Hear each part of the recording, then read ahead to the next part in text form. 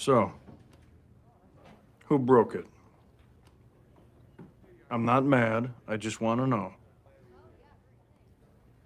I did. I broke it. No, no, you didn't. Tom? Don't look at me. Look at Ben. What? I didn't break it. Huh, that's weird. How'd you even know it was broken? Because it's sitting right in front of us and it's broken. Suspicious. No, it's not. If, if it matters, probably not, but April was the last one to use it. Liar, I don't even drink that crap. Oh, really? Then what were you doing by the coffee cart earlier? I used the wooden stirrers to push back my cuticles. Everyone knows that, Okay, Jerry. okay, let's not fight. I broke it. Let me pay for it, Ron. No. Who broke it? Ron, Don has been awfully quiet. Really? Yeah, really. don I broke it. It burned my hand, so I punched it.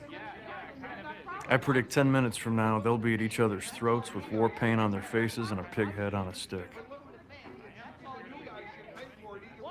Good. It was getting a little chummy around here.